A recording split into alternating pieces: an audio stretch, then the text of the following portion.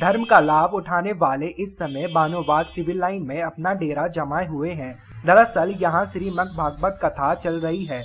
कथावाचक सभी गोपाल दास ने श्री कृष्ण जन्मोत्सव को बड़ी धूमधाम से सुनाया भी और मनाया भी। कथावाचक ने बताया कि नारायण ने धरती से अधर्म का नाश करने के लिए देवकी के घर जन्म लेकर पूरी धरती को धन्य कर दिया। उनका पूरा लालन पालन यशोदा ने किया।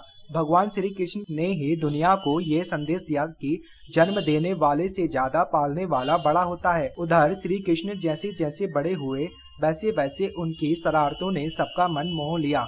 कभी दही चुराया तो कभी मक्खन, इन्हीं लीलाओं का वर्णन करते हुए कथावाचक ने कहा कि प्रभु की माया प्रभु ही जाने।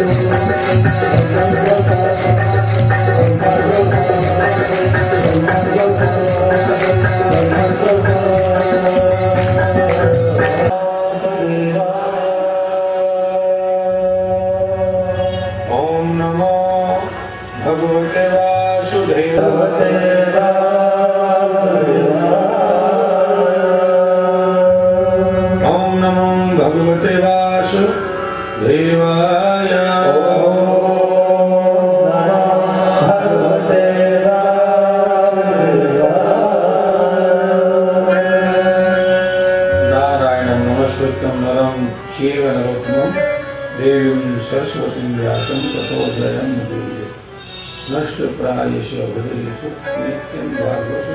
सेवया भगवती उत्तम समुखे भक्ति भक्ति नष्ट श्री कृष्ण चैतन्य प्रभु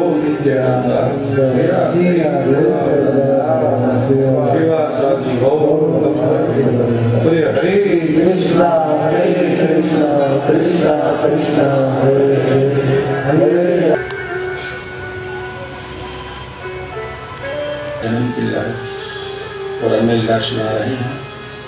कल हमने भगवान श्री कृष्ण के जन्म उत्सव की लीला सुनी आपने सुनी थी या नहीं? कितने बच्चों को मिली ठीक। लगभग सभी ने सुनी। तो भगवान के जन्म में हमने क्या देखा? कि भगवान देवकी और वसुदेव जी के सामने क्या बैठे अपना चतुर्भुज रूप धारण करके हुए। सही बात है ना? और फिर भगवान बाद में क्या बने थे? छोटे बालक बने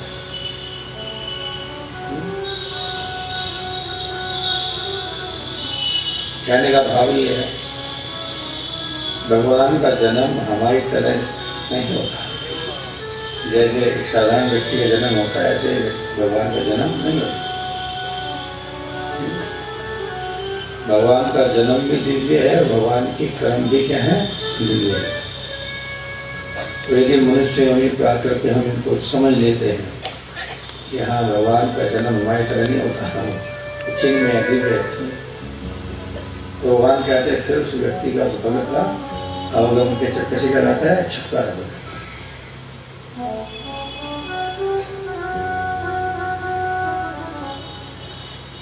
कल आपको आनंद आया आया था नहीं, आया था अच्छा कहते थे। आया था, थोड़ा नहीं, बहुत आया था। मैं भी देख रहा था कि लोगों में घर में जाने की हलचल नहीं, चाहे जल्दी नहीं। सब लोग मस्त हैं।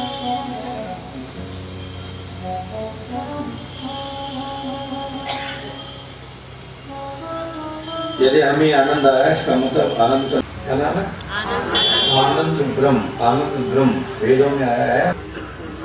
आनंद भयो।